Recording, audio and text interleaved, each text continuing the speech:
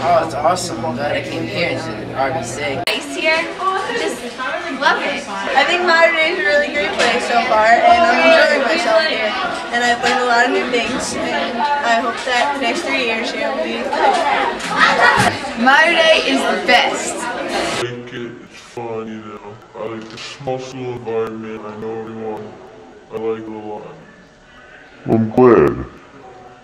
Keep up the good work. What do you guys like about Mater Dei? The boys. Gerard Rufo. I love Mater Dei, and I'm glad I went to this school. It's very, it's very fun, and I have a lot of new friends, Aw, I'm glad, I'm glad. Al Festa. Oh, Nicolina, thank you, thank you. And now, whether you like it or not, we're gonna take a closer look at the freshmen.